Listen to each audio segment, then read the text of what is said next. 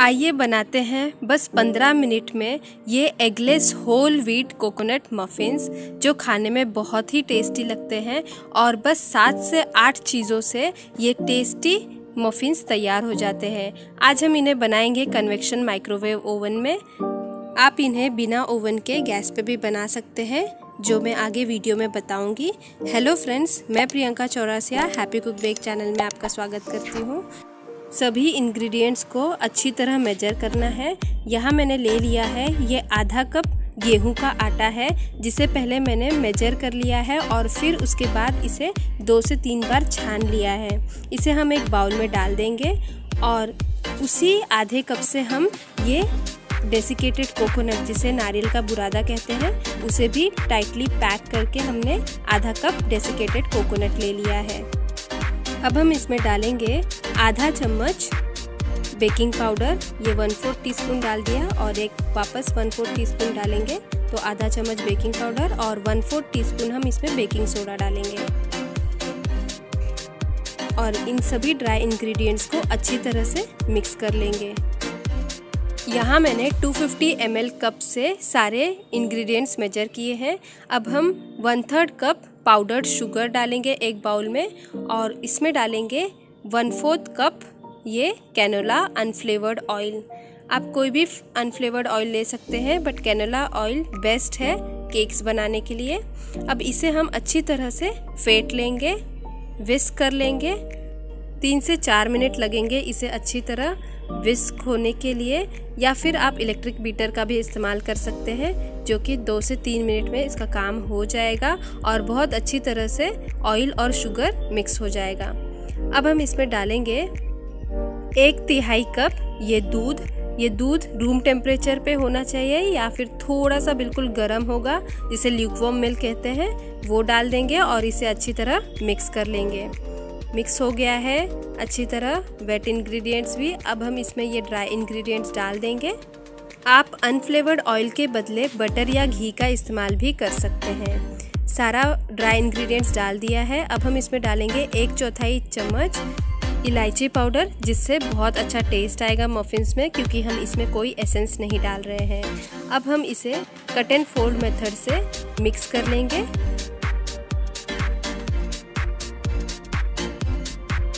बहुत ही आसानी से मिक्स हो जाएगा। कहीं पे भी लम्ब्स नहीं रहना चाहिए। एक से दो मिनट में ये अच्छी तरह मिक्स हो जाएगा। मफिन्स का बैटर रेडी है। अब हम इसमें कुछ कटे हुए बादाम पिस्ता और काजू डाल देंगे। ये देखिए, बादाम और काजू पहले हम थोड़ा सा डाल देंगे और इसे ऊपर से गार्निश करने के लिए भी थोड़ा बचा लेंगे। आप चाहें तो इसमें ज़्यादा भी डाल सकते हैं। मिक्स कर लेंगे इसे एक बार और कट एंड फोल्ड मेथड से और ये मफिन्स का बैटर रेडी है। आज हम इन मफ़िन्स को माइक्रोवेव कन्वेक्शन ओवन में बनाएँगे।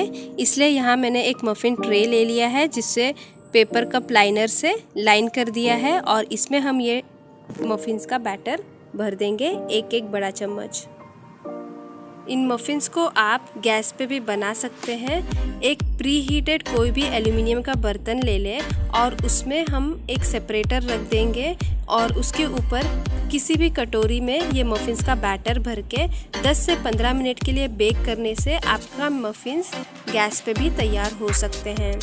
कटोरियों में मफ़िन्स का बैटर डालने से पहले उन्हें अच्छी तरह ग्रीस कर लें और फिर हम बैटर उसमें भरेंगे। याद रहे, इसे हमें बिल्कुल धीमी फ्लेम पे ही पकाना है और जब तक टूथपिक क्लियर ना निकले, तब तक हम इसे बेक करेंगे।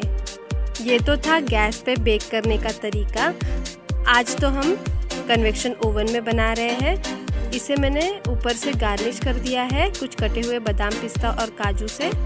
दो से तीन बार हम इसे टैप कर लेंगे मफिन स्ट्रे को और ओवन हमने पहले ही कन्वेक्शन मोड पे 160 डिग्री सेल्सियस पे प्रीहीट कर लिया था। जैसे ही बीप साउंड सुनाई देगी, वैसे ही हम इसमें मफिन ट्रे रख देंगे और 12 मिनट का टाइम सेट करके इसे बेक होने देंगे। 12 मिनट बाद हम इसे चेक करेंगे।